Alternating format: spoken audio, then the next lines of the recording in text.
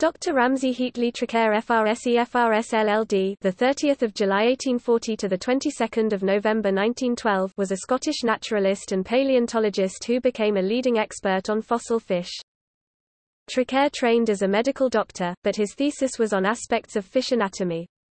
He held posts as Professor of Natural History and Professor of Zoology in England and Ireland, before returning to his native Edinburgh to take up a post at the Museum of Science and Art. He spent the rest of his career there, building up a renowned collection of fossil fish over a period of more than three decades. He published extensively on paleoichthyology, authoring many papers and a series of monographs. His studies of rocks and fossils in Scotland overturned earlier work on fossil fish, establishing new taxonomic classifications.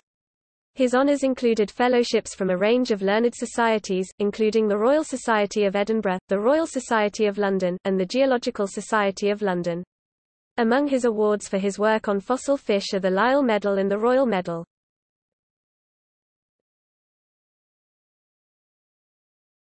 Topic: Early life. Ramsay Heatley Traquair was born on 30 July 1840 in the manse at Rhind, Perthshire, Scotland.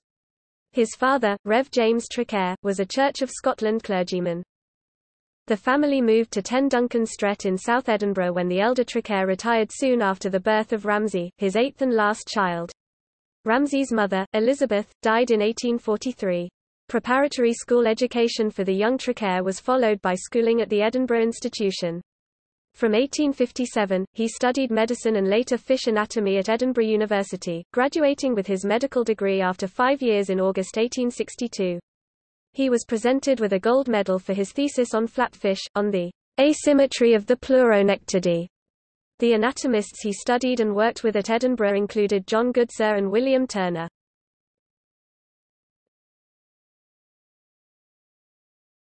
Topic. Career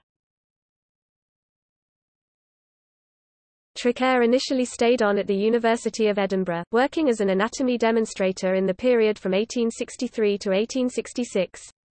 He then succeeded in obtaining a post as Professor of Natural History at the Royal Agricultural College in Cirencester. This appointment included a testimonial from T. H. Huxley, however Traquair's stay at Cirencester was brief as he felt that, "...this post isolated him from research." Moving to Dublin, Ireland, in 1867, Traquair took up the position of Professor of Zoology at the Royal College of Science, working and teaching there for the next six years.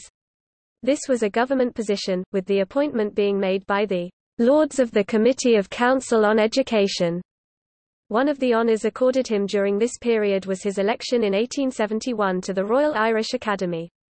On 5 June 1873 he married the artist Phoebe Anna Moss Phoebe Anna Traquair, whom he had met in Dublin. They moved to Colinton Farm southwest of Edinburgh.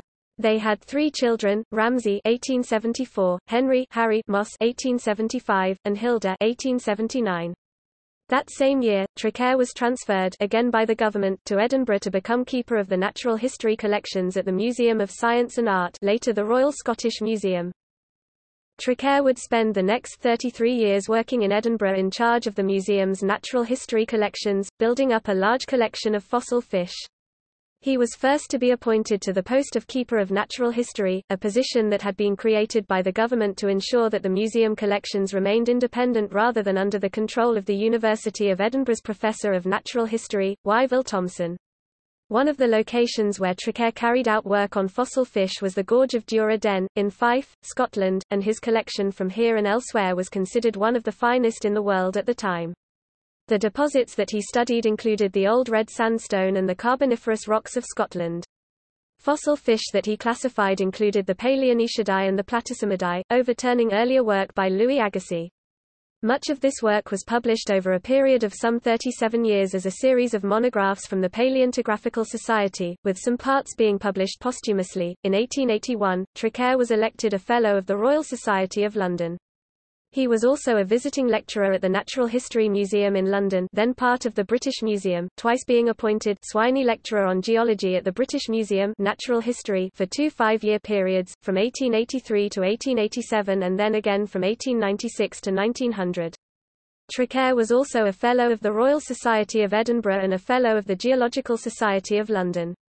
He was elected a Fellow of the Royal Society of Edinburgh in 1874, also serving several periods as councillor, and being a vice-president of the Society from 1904 to 1910.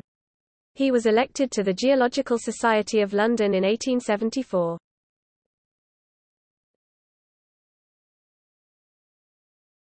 Topic: Family Traquair was married to the artist Phoebe Anna Traquair Moss, and they had two sons and a daughter, Ramsay, Henry Harry Moss, and Hilda. He retired in 1906 and died in 1912 at the age of 72.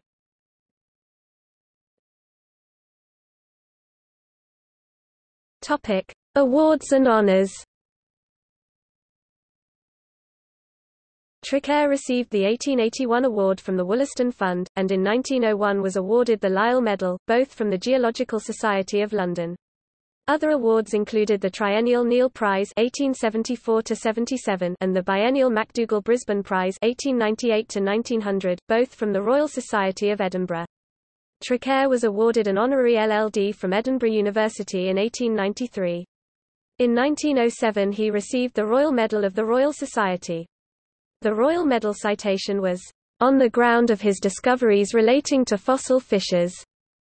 In 1909, Traquair's life and career was documented in the Eminent Living Geologists feature of the Geological magazine.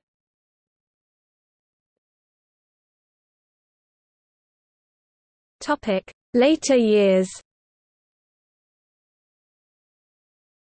Traquair retired in 1906 to the Bush in the Edinburgh suburb of Colinton.